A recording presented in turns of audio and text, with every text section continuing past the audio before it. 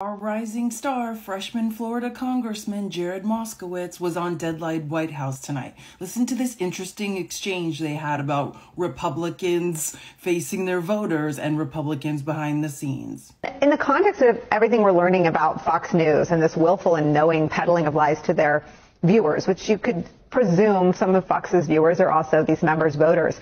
Does it ever dawn on anyone that, that no one wants to solve the chicken and the egg? You know, maybe the reason you can't be tough on neo-Nazis is because no one is willing to lead. Do those conversations ever happen in those dark corners?